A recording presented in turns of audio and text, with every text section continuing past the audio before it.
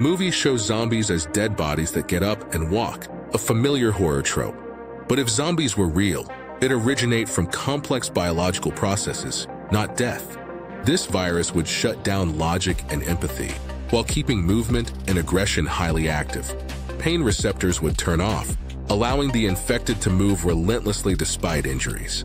The immune system would collapse, leading to decay even as the body remains biologically functional.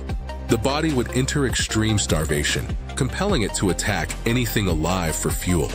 Within 24 hours, hospitals would collapse. Within three days, the food supply chain would halt. The real danger isn't the infected, but the uninfected humans desperately trying to survive. The scariest part is that organisms in nature already exhibit similar mind-controlling behaviors. All it takes is one critical mutation, and fiction could terrifyingly become biological reality.